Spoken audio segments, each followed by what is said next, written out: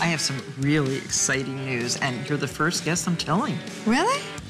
Really, the Martha Stewart Show is moving to Hallmark Channel this fall. That's great, but you know what? I feel like I feel like you told me that already. I guess that must have been a dream. Really?